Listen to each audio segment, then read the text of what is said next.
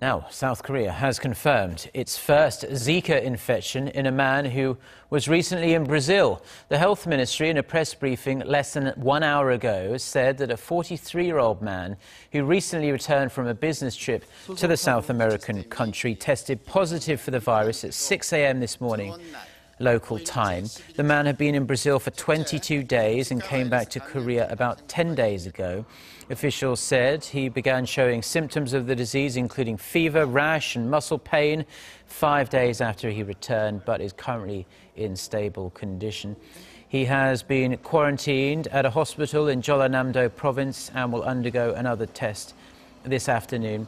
Officials stress, however, that there's no need for Panic as the Zika virus is not airborne and the mortality rate is extremely low.